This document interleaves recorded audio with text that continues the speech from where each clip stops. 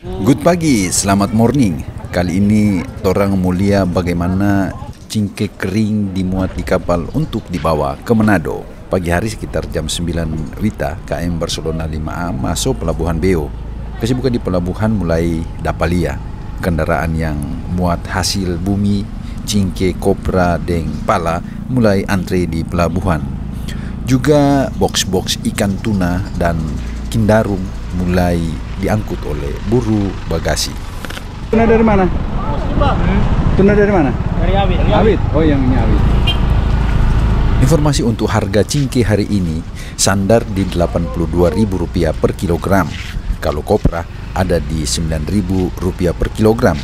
Kalau tuna, nelayan jual tuna di pedagang pengumpul Rp30.000 per kilogram rata. Artinya kecil besar, bagus tidak bagus semua Rp30.000 per kilogram. Eh, tangan. Begini, begini. Rob. Udah. Kita apa? Rob. Bongkar muat di Pelabuhan Bio ini berupa bahan-bahan pokok yang dibongkar berasal dari Manado. Kalau bongkar itu dari Manado.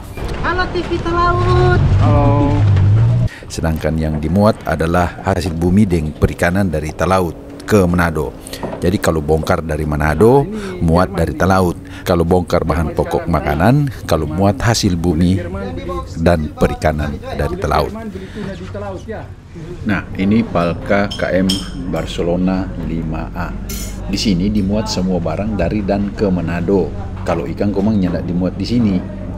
Barang-barang pokok berupa beras, terigu, minyak kelapa, telur, gula, minuman ringan, air mineral, dan lain-lain. Barang-barang ini merupakan kebutuhan pokok warga Telaut yang didatangkan dari Manado lewat kapal Barcelona 5A. Armada pelayaran ini sangat penting bagi perekonomian di Telaut karena Telaut adalah daerah kepulauan di Sulawesi Utara dan perekonomian berpusat di Manado sebagai ibu kota provinsi Sulawesi Utara di mana Telaut adalah salah satu daerah tingkat dua di Sulawesi Utara. Oke Singgawe, sampai di sini dulu cerita pagi ini di Pelabuhan Biota Laut. Ada lihat bagaimana cingke dimuat di kapal Barcelona 5A untuk dibawa ke Manado. Sampai baku dapat di video lainnya.